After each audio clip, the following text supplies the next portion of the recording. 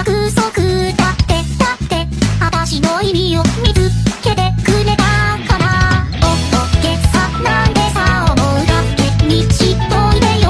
だってだってほんとのことを伝えてるだけだろうやっとあってつね。